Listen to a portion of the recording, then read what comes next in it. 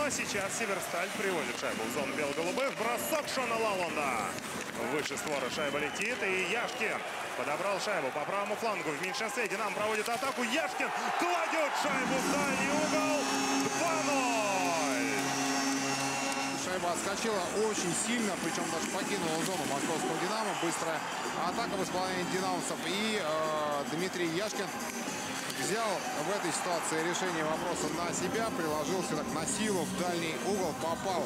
А здорово Дмитрий Яшкин, нападающий московского «Динамо», и забросил свою третью шайбу в этом розыгрыше Кубка Гагарина. Ну и продолжает Дмитрий Яшкин набирать очки в каждом из э, э, матчей этой серии.